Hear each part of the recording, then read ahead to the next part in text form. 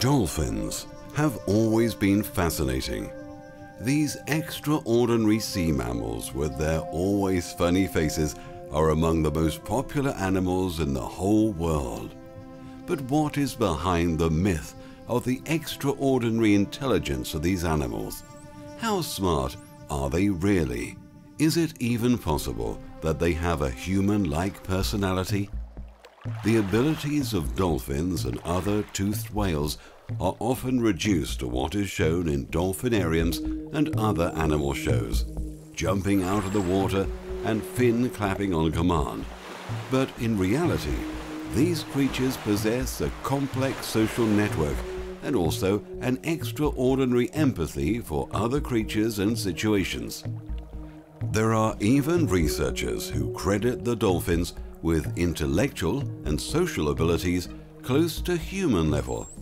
How much of this is true remains to be seen, but according to the current state of science, one thing is already certain. Dolphins have far more skills than most of us give them credit for. Many myths regarding these animals are not only true, but even downplay the facts of reality. Each year, research results amaze the world because of our never-ending fascination for dolphins, even with questionable TV shows such as Flipper being long off the air. It's their trusting and positive nature which makes them so interesting for so many people. Participating in dolphin therapy and swimming, diving or snorkeling with dolphins are right at the top of many people's wish lists. But how do the animals feel about all this? Together with Dr. Carsten Brensing, one of the most renowned researchers in the field of whales and dolphins and a staff member of the International Whale and Dolphin Conservation Society, WDC, we will approach these issues. We'll unravel the myths surrounding the dolphins and dare to take a deep look inside the personality of these extraordinary creatures.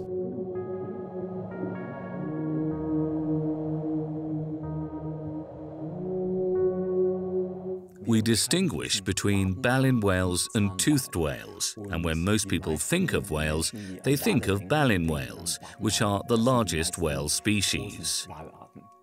Sea mammals are animals well adapted to life in the water. Aside from whales, this species also features seals, manatees, and sea otters. The whales are separated into two specific kinds, the toothed whales and the baleen whales. The group of toothed whales includes the following species. The sperm whales, beaked whales, monodontidae or white beluga, porpoises, dolphins, and river dolphins.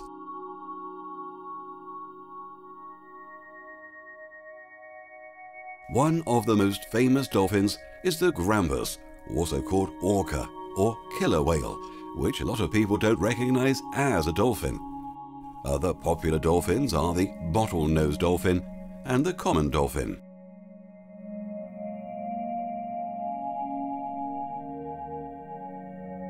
The orca dolphins are easy to spot because of their imposing size and their black and white color scheme.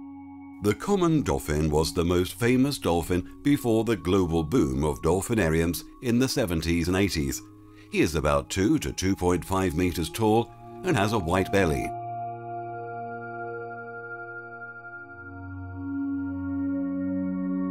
At long last, we have the bottlenose dolphin, which became famous thanks to the Flipper show and the massive keeping in dolphinariums. It is a very tall animal which can grow as long as 4 meters and weigh up to 600 kilograms. The reason it is so often used in animal shows and films is not its appearance, but its extremely high intelligence. The bottlenose dolphin is simply referred to as a dolphin, although it only belongs to a subspecies of the dolphins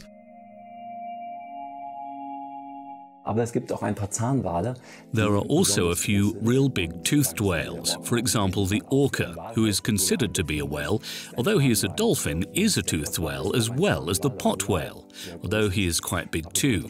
But the distinction is important because the baleen whales are filter feeders, meaning they eat small things out of the water. They filter the water with their baleen plates, which are comb-like braids, and the toothed whales, which are hunters, are carnivores.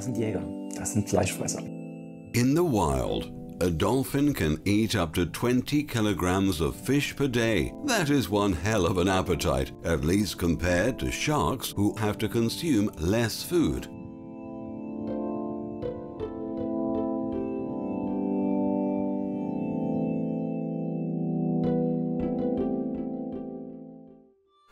Dolphins are toothed whales, which means they have a set of teeth similar to terrestrial predators.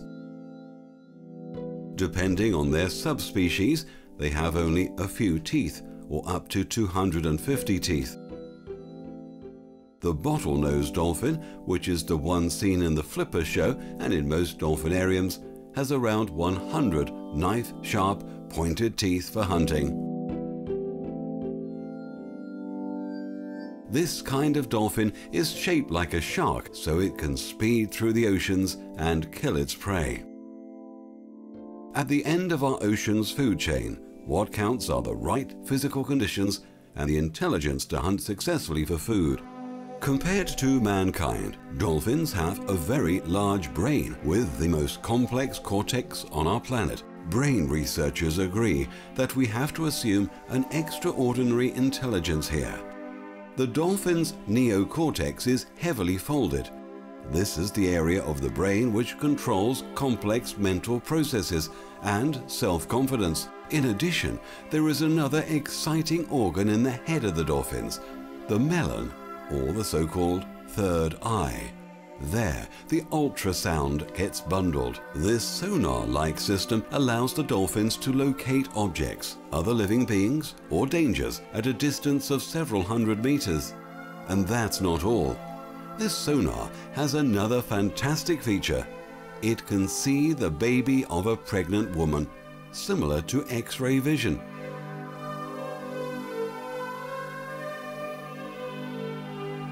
Therefore, dolphins in the wild are often fascinated by pregnant female swimmers. Dolphins are actually distributed on our whole planet. They're found in the higher latitudes and also in the tropical areas. The only areas that are currently being shunned by them are those where people are particularly active. Of course, different dolphin species are present in different areas, depending on how they adapt themselves to the area. For example, the bottlenose dolphin, which is the dolphin which we know today as the typical dolphin, because we see him in dolphinariums and in the media, lives even in the North Sea, there are some of them who are particularly large, and thus they also have a very good thermal insulation and are easily one to two meters bigger than the other ones in the Caribbean.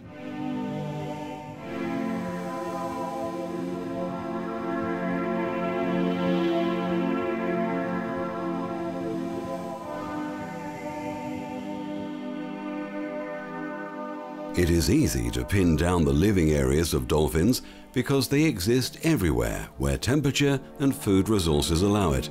Our world is divided into the following major marine areas the Atlantic, the Pacific, and the Indian Ocean.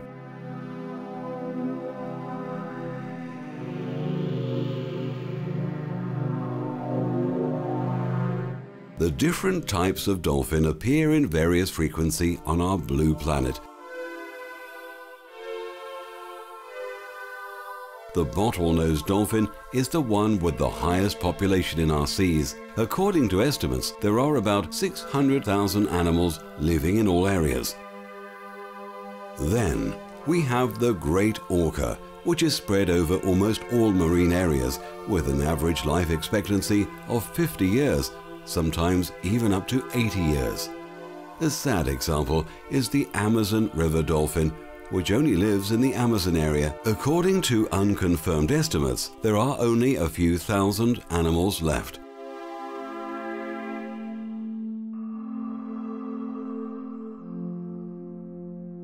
In general, one can say there's one dolphin per 10,000 people, the number of inhabitants of a small town.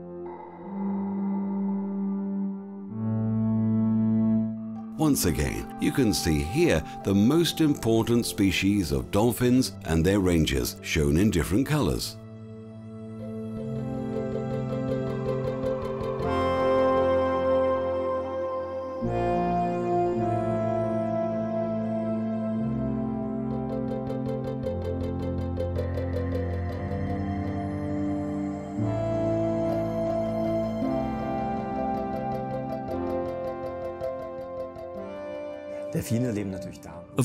Dolphins live where there is food. When you find a lot of food, you find a lot of dolphins. However, there is a rather disturbing fact in this context.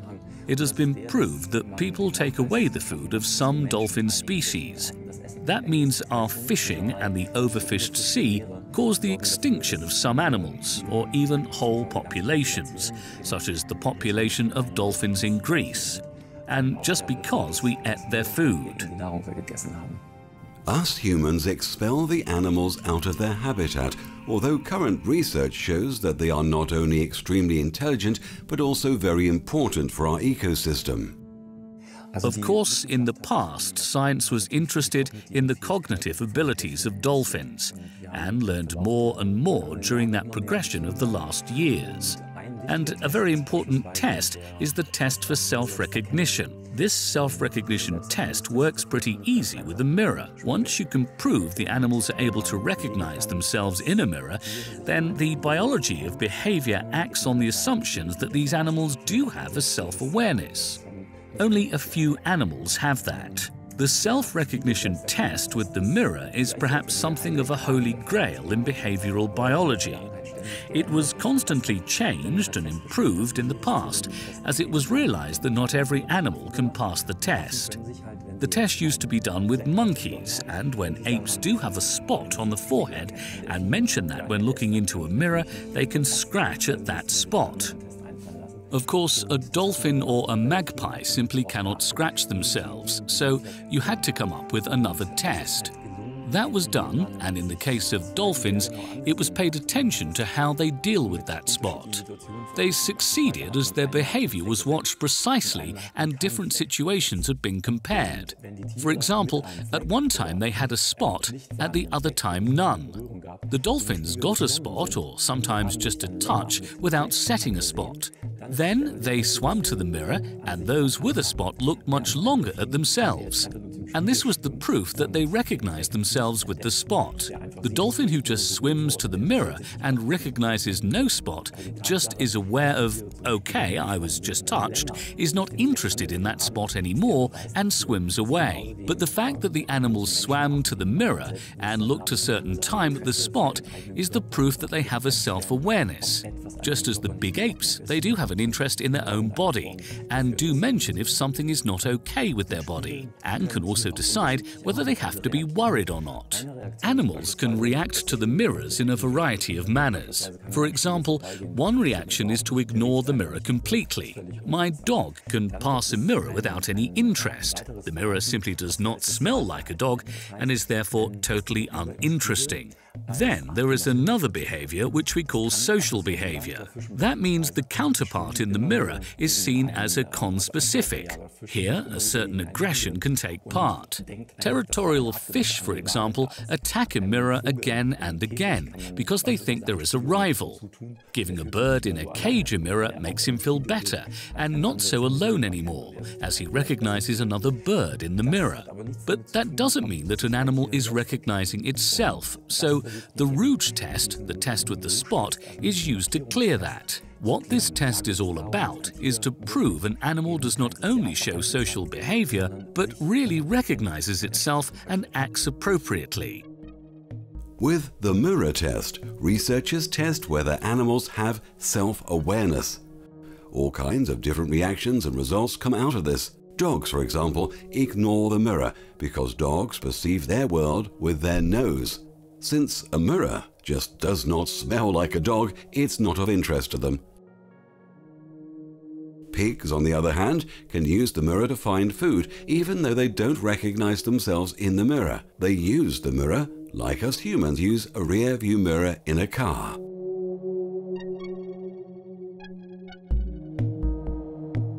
Many birds and fish see the mirror as a member of the same species who is located in front of them. Sometimes their reaction is aggressive and territorial when seeing their own mirror image.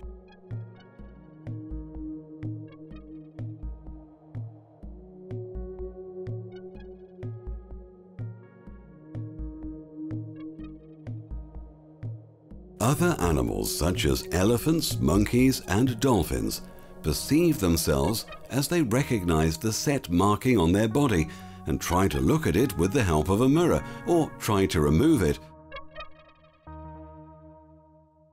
Just as humans react accordingly when they see a stain on their shirt.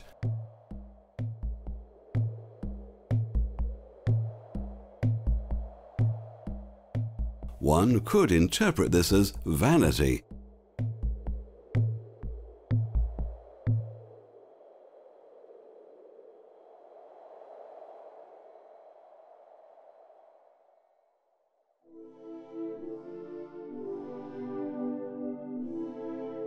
But it certainly counts as consciousness about the outward appearance.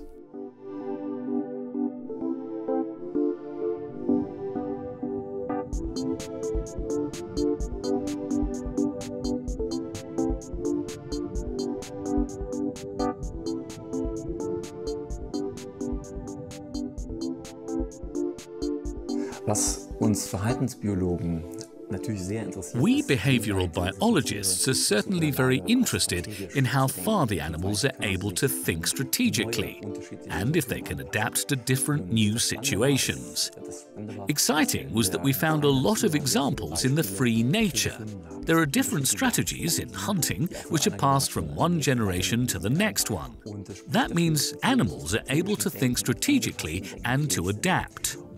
Then we had experiments, really easy ones, to test that. One of them was to demonstrate a dolphin that had to pick up three weights in a pool and therefore will get a fish. So he had to pick up these three items, put them in a box, and then got a fish. A diver demonstrated that, and afterwards the dolphin just did it himself.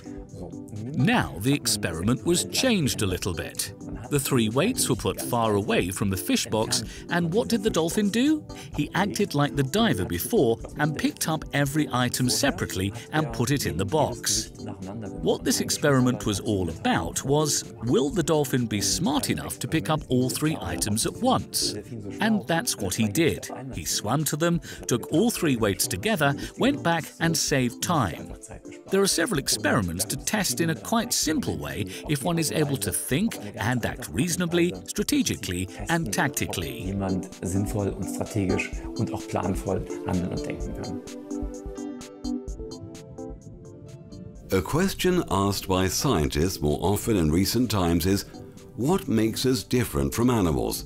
Language, social interaction, and economic foresight are no longer exclusive domains of humans.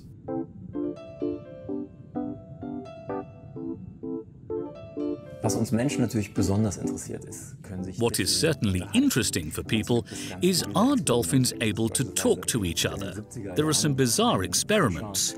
In the 70s, for example, a scientist founded a flat share with dolphins. He flooded a house, placed some people and dolphins in there, and tried to teach the dolphins English. Of course, that didn't work. Dolphins are not able to speak English, but they do have a complex way of communication. It is that complex that we don't understand it yet. What we do understand is easy to describe and again with some quite simple experiments. For example, you can teach a dolphin to understand human language. That worked quite well with big apes by teaching them the human sign language. Dolphins were taught a modification of that so that the animals learned an abstract language, a sign language. It was possible to present that so far that in the end only two white gloves in front of a black background were moved, and dolphins were able to interpret that in an abstract way, and to understand it as information and command. And due to those experiments, it was found out that these animals have A. a certain idea of space, and B. a certain idea of time. Because it was possible to tell them first go there and pick this up and then bring it to this or that place. Therefore, it was easy to prove that the animals do have an idea of space and time. The current status of research, social research of dolphins, did lead a group of scientists to get together, and that group decided, based on the knowledge we do have now, to ask for something like a personal security for whales and dolphins. Their argument is that the animals are obviously, and this is proved by the experiments, evolved that far that dolphins and whales have to be considered as people. That means they have an idea of themselves, others, a perspective of life, memories of their life, and a history. And they do have the possibilities to think strategically and so on. Those scientists who got together do support the idea that we have to also give judicial rights to those animals.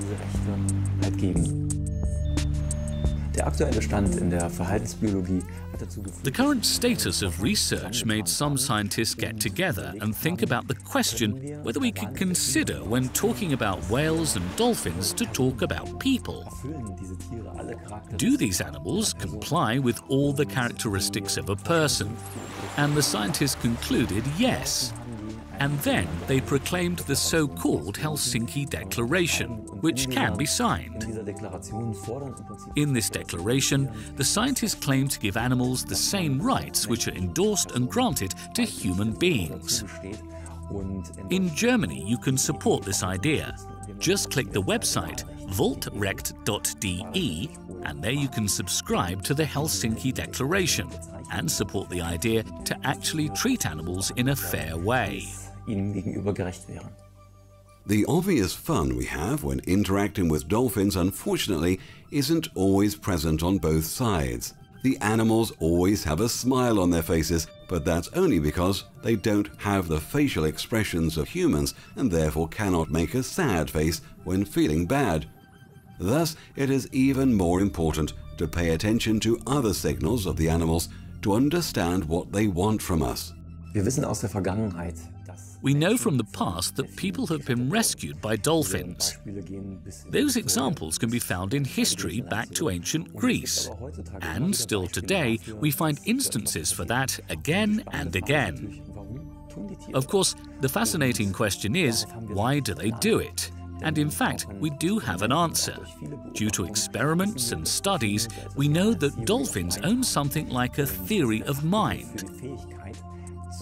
That is the term for the ability to understand that there are other creatures with self awareness.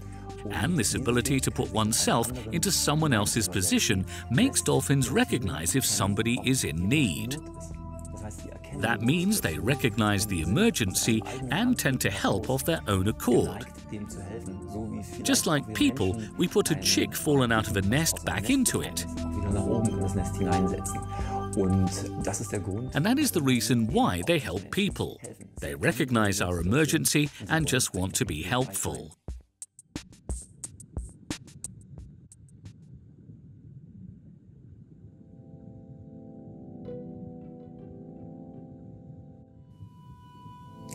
Interessanterweise gibt es auch den umgekehrten Fall. Interestingly, it can happen the other way round. Dolphins come to people and ask them for help. There was an example, an incident, in 2012 when a dolphin swam to a group of divers and let them free him from a fishing net. That means the dolphin understood I have a problem, I am caught, and I can't go on like this, and there is a group of divers who can help me. They have knives and are able to free me. And in fact, the diver with his sharp knife was allowed to come very close to the dolphin, a wild dolphin, and cut him out of the fishing net. Someone had an underwater camera, and therefore this was documented very well. This is a fairly impressive example for an interaction, and the animals know in reverse we can also help them. In the end, I'm truly confused, and I'm not the only one, that we have to consider some animal species as people. And if we consider these animals as people, as they fulfill all the characteristics we expect from an individual, we simply have to treat them as a person. That means we should not be allowed anymore to confine them or kill them at random because we want to eat them. These are questions I deal with in my book, and I really hope that I was able to express that message in a concrete and entertaining way. And I do hope that those people who read the book will have a better understanding of the way animals think. If we would consider those few animal species as an artificial person, then of course it would mean that people were not allowed to kill these animals. We would not be allowed to confine them, and actually, we would also not be allowed to take their territory. That means a sanctuary for animals would have a completely different status. At the moment, sanctuaries in free nature just mean that we won't endanger the population. In fact, the population is managed. As long as I do not endanger the population, I'm allowed to kill even highly protected animals. That would not be possible anymore if the animals were seen as people. Then you would kill a person, and that is a judicial crime.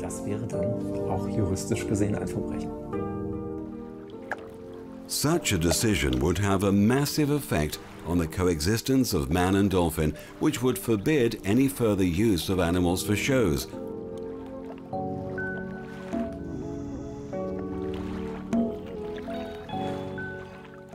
The question now is, do we really need dolphinariums or are there other ways to interact with these intelligent creatures?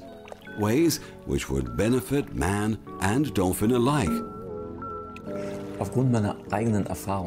Based on my own experience, and I worked in a dolphinarium and sea enclosure for years, in my opinion, nobody should visit a dolphinarium in principle, as we would only support the keeping of dolphins in an appropriate environment. And from my point of view, those animals actually are not allowed to be kept. And there's one more reason. Considering that the animals are seen as people, we have no right at all to capture them and lock them away for their entire life. If we talk about keeping dolphins in a species appropriate environment, we have to distinguish are we talking about a dolphinarium or a sea enclosure? Very often, sea enclosures are much bigger and without any concrete walls. Sometimes there are also other fish, and it could be questioned that a sea enclosure would be an appropriate environment. I believe dolphinariums are not species appropriate. The animals do not have the free moving space as in the great outdoors at all, and in dolphinariums, the dolphins are not kept under normal social conditions. Strictly speaking, their social life is stolen from them, and there are only a few animals living together, and an exchange is not possible. From studies in nature, we do know that dolphins have a very complex social life. We know, for example, that dolphin calves already live a social life. They have about 20, 30, or 40 friends, and they're in contact with a lot of grown up dolphins from whom they learn. That learning process and the complex of experience they pass through in their youth in free nature, including the exchange with many other dolphins, is completely taken away from them. This causes the animals to not find their normal social partners as they do in the outdoors. In the case of male dolphins, it will be other males. They live together with other males. Now they don't find them, and this leads to aggression in captivity. And that leads to medicating the animals with ataractics and hormones. And in my opinion, if they have to be medicated like this, this is a clear signal that they are not kept species appropriate. If you now give a thought to whether the animals can be treated better and more species appropriate in an outdoor enclosure, then, in my experience, we have to deny that, as even there, it does not work to form a solid social group. When males become older, they have to be separated from the group, as this situation always leads to aggression. In the outdoors, the animals can swim away. If one day there could be such a big enclosure that the animals can swim that far away to avoid aggression, then I might discuss if they were kept species appropriate in those outdoor enclosures. dann würde ich vielleicht darüber diskutieren, ob die Tiere auch in solchen Gehegen halt artgerecht gehalten gehalten werden können.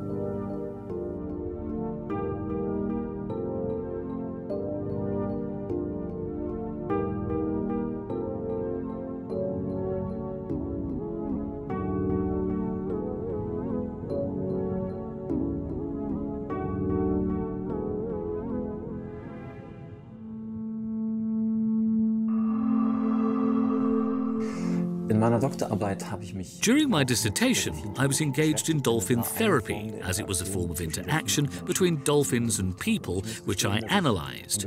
I have to confess that at the beginning of my research, I was very committed, motivated, and excited, as I thought something really great can be watched here. But my own perceptions convinced me it was the very reverse. And finally, that made me today a critic of dolphin therapy.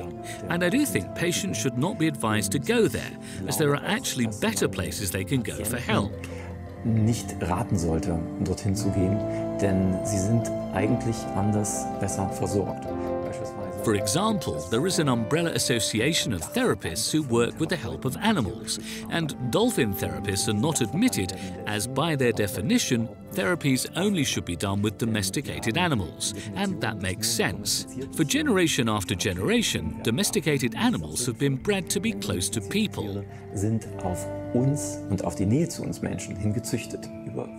Some animals like the closeness, some need it. Just think about our dogs. Therapy with wild animals is something different. Basically, wild animals dread people, though it can happen in the sea that a curious dolphin comes close to us and is watching us, he would never swim several times a day to people. He just would not do it. He would stay away. Und ähm, für die Tiere, die davon betroffen sind, dass sie And I think for those animals which are involved in dolphin therapy, it is a disaster. First of all, they are cut off from their normal life. They have to do something they would never do by choice, and that is the reason why therapies are done with the fish as a reward system. Every interaction between the patient and the dolphin is rewarded with fish. This is the reason for many therapists working with animals saying, actually, dolphin therapy cannot work, as it's very important for a therapy that the animal and the patient develop a bond and a relationship. With dolphin therapy, the only interaction happens between the dolphin and the trainer instead of the patient. The dolphin only does what the trainer tells him and gets some fish for it. That is why there actually is no therapy at all. There are different views about the dolphin therapy and whether the animals are suitable for the therapy of humans at all. Research is being conducted in both directions, but up to now there are no clear results or a recognition by the Medical Council or health insurance. Unfortunately, there are far too many black sheep who offer supposed therapies only to the chagrin of the animals.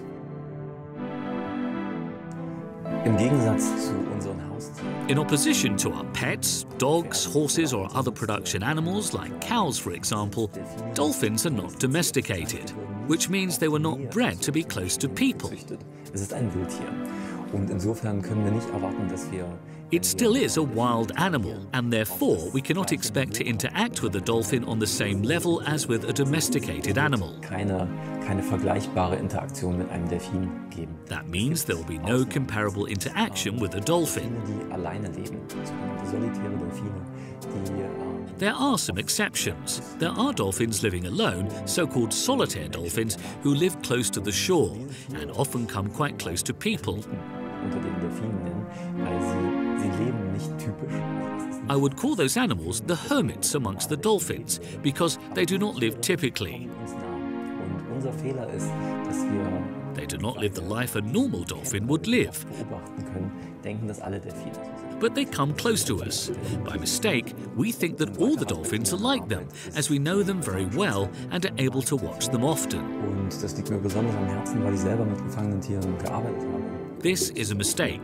They are not like this. If we realize one day that our knowledge has come that far that certain actions we take are immoral compared with our moral concept, then we must change our attitude.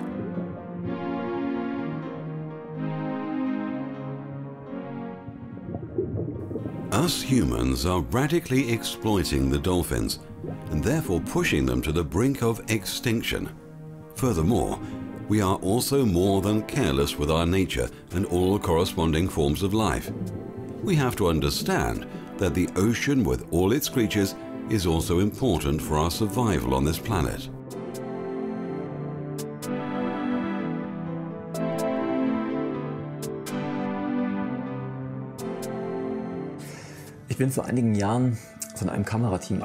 A few years ago, I was invited to join a camera team who made a story regarding dolphin therapy in Turkey. Und damit möglichst To keep the report as objective as possible, I didn't go there as a dolphin expert, but as a cameraman. Und als Kameramann war As a cameraman, I was in the water and filmed underwater. ich gedreht habe, waren Belugas. And I filmed belugas. Tiere Dort unter Wasser zu sehen. das To see these animals underwater was, in connection with whales and dolphins, the most emotional and profound moment I have ever experienced. im Umgang und im Zusammenhang mit Walen und Delfinen. Und das The reason was the animals were young, three or four years old, and they had been there for one year. sie waren dort schon ein Jahr. Das heißt, sie sind als extreme kleine Which means they've been taken away from their mother as puppies.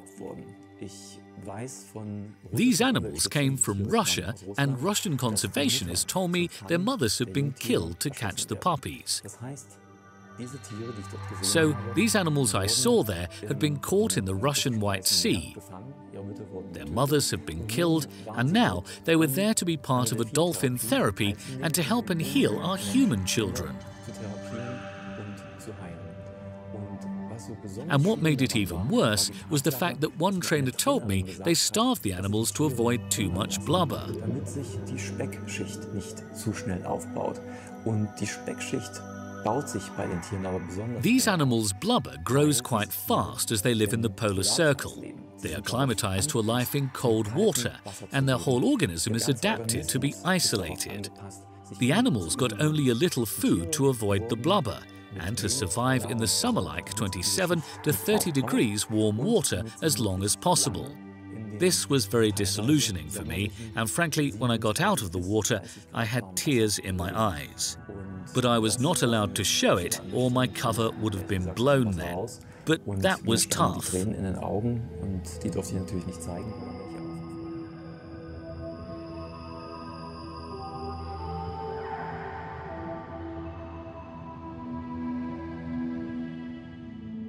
Currently, the top priority for all dolphin researchers and whale protectors is the preservation of the habitat of these animals.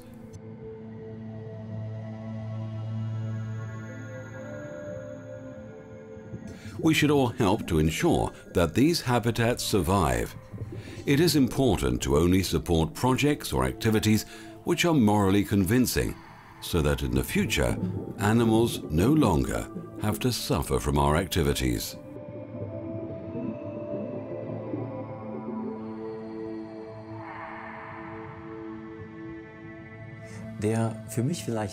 One of the most exciting aspects is the fact that dolphins do have something similar to names. Und wenn ich an eine Person When thinking of a dann denke ich person, natürlich an eine I think of a Person mit person Namen. with a name. That is a casual connection. Und Delfine haben Namen. Dolphins do have names. They have a so-called identification whistle. In den ersten Wochen ihrer Geburt- In the first weeks after their birth, they learn this whistle, and first it sounds like the whistle of their mother. er charakteristisch wird. Und Then the whistle changes a little bit and becomes characteristic. meist Über ihr ganzes Leben. Es gibt Ausnahmen, denn die The animals keep their own whistle their whole life.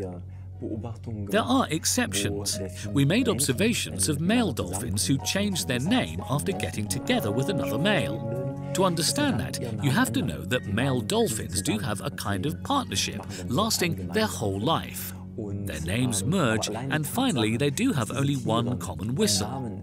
But just the fact that they need names in their social life shows us how complex this social life is.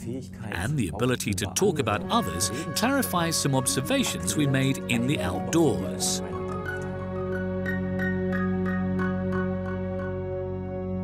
The name is communicated by the whistle and is only assigned to one animal.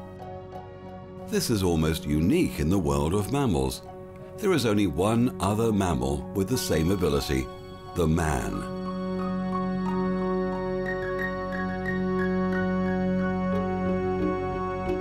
Now, dolphin and man cannot be directly compared, but since we are in a more powerful position than the dolphins, we must help to protect them.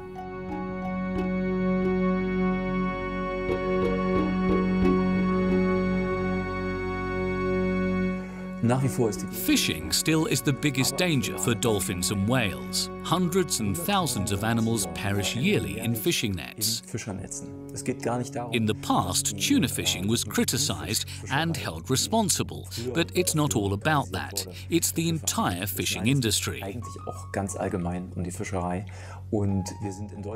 Germany is not a very positive example, as we nearly killed off the East Sea porpoise, which is a genetic separated population from the North Sea porpoise.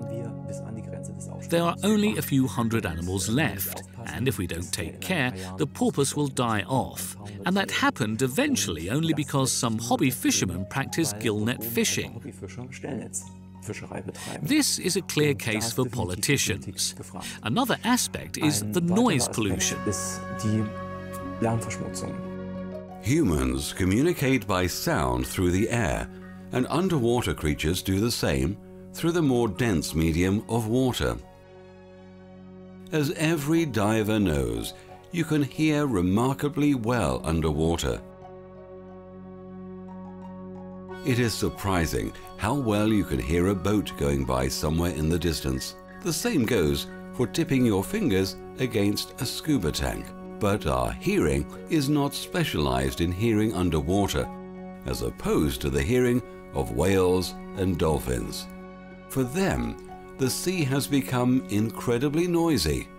Some of the noise sources, such as ships, air guns used for the search of oil and gas, or military actions can hurt or even permanently destroy the hearing of the animals. The results are disorientation and the stranding of confused animals on our shores. The sound waves the animals are radiating are interrupted by other sources of noise and therefore don't reach their target. For some whale species, which are able to communicate over thousands of kilometers in calm waters, their communication is now limited to only a few kilometers. Therefore, groups of animals can no longer locate each other underwater. Come mating season, this is especially bad for these animals because they cannot find a suitable partner anymore. For many whales already facing dwindling population, this becomes more and more of a problem. Unfortunately, the amount of noise is increasing every year. If we don't act now, the resulting consequences can become very serious. Wir müssen dafür sorgen, dass sich Wale und Delfine we have to make sure that whales and dolphins are able to orientate themselves underwater to make sure they can communicate with each other. The communication area of blue whales contracted from about 1,000 kilometers to 100 kilometers. That means the animals cannot find each other anymore. And there are other activities, for example, caused by shipping. Ships cause very low noises, and whales communicate within that range. Another aspect is the search for mineral oil and natural gasoline, as very loud so-called air guns are used. They are loud enough to destroy the animal's hearing. And if we don't stop these things from continuing at the same level we are now, then we have a problem for the animals.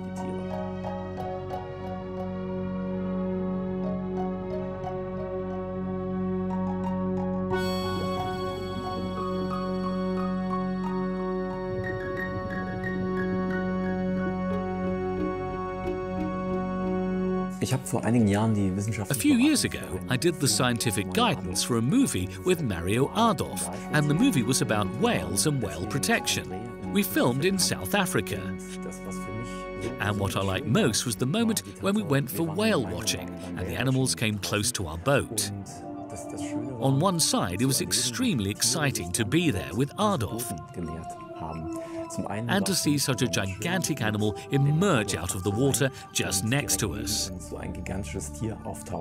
On the other, I had a good feeling and did not feel guilty, as whale watching is regulated and very well organized in South Africa. There is always only one boat at a time in the bay, and there is almost no other population of whales which has recovered as good as the population of the southern right whales, which we saw in South Africa. To see the complete setting was very satisfying for me, and I really did enjoy it very much.